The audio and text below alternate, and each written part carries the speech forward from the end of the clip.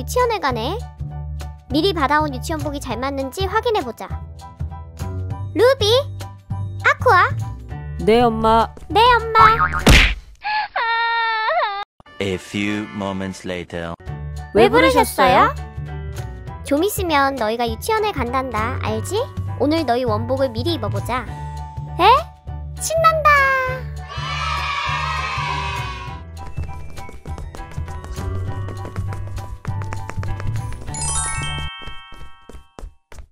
자, 여기 예쁜 옷들이 도착했어요. 와, 정말 이쁘다. 이러다 군복도 다시 입겠는데?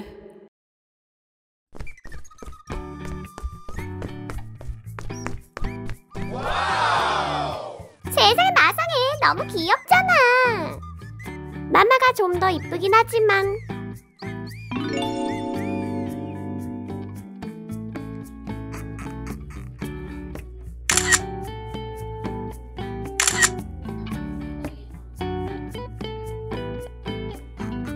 이번엔 자켓을 벗어볼까? 와, 너무 귀여워! 에템! 엄마 손 뽀짝한 거 보소!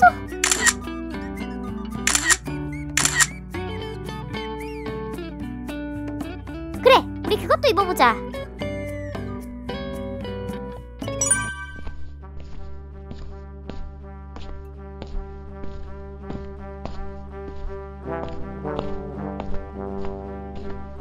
얘들아, 어서 나와.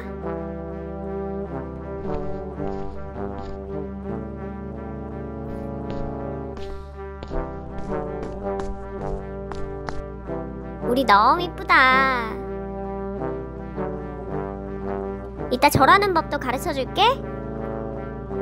보름달처럼 풍성한 한가위 보내시길 바랍니다.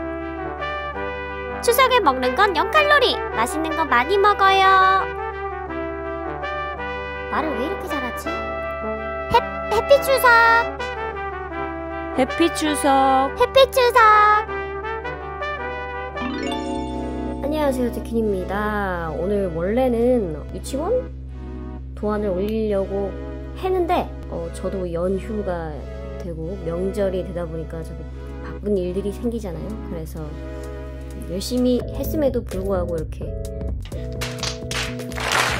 일단 얘네 둘만 소환하는데 성공을 했습니다. 아이 한복까지 해서 이렇게 맞춰봤고요. 의상은 좀 전에 상황극에서 보여드렸던 것 말고도 몇 가지가 더 있거든요. 그거는 지금 보여드리려고 합니다. 자, 얘도 이렇게 기본 상태입니다. 요거는 뗄 수 있는데 일단 지금 붙여놓도록 하겠습니다. 얘네 둘도 옷을 바꿔 입어도 상관이 없어요. 완전 귀여워요. 어, 이 상태도 괜찮은데? 다 나은데? 진짜 한복이랑 똑같이 만들어봤어요. 저고리, 치마, 버선도 있고 신발도 이쁘게 신었어요. 여기는 종이일 때 자르고 이렇게 코팅을 어렵게 만들어서 미안합니다.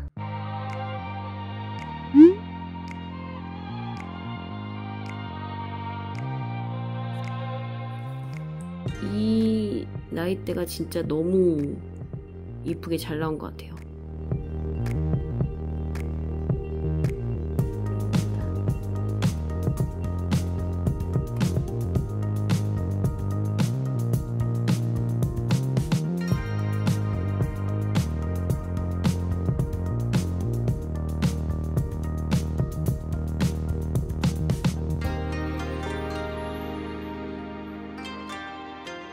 이렇게 생겼던 애가 말이에요. 이렇게 생겼던 애가 이렇게 컸습니다. 아유 정말 아이가 고생이 많았네. 음. 어떠셨나요? 오늘 두 장이고요. 얘네 집은 따로 없어요. 왜냐하면 어린이집으로 크게 하나 만들어서 카나도 있고 아카네도 있고 램초는 아직 확실하진 않지만 계획을 하고 있거든요.